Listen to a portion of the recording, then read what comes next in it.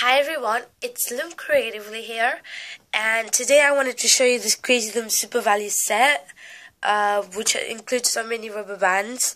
Uh, I got this as a Christmas gift, so I wanted to show you what's inside. So let's get started.